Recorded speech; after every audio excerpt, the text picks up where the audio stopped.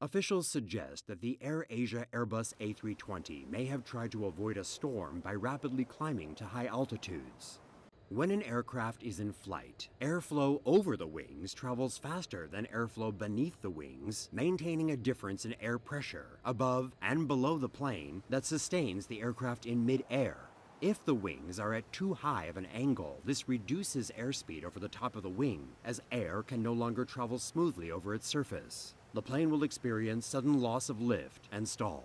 The aircraft may have also been traveling too slow at the altitude it was flying, Thin airflow at higher altitudes mean the pilot must generate more airflow by moving forward at a faster speed.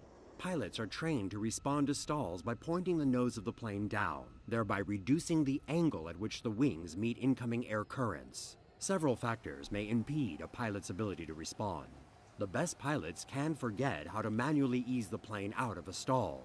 In the case of AirAsia, it's possible that some of the plane's instruments were too frozen to respond adequately.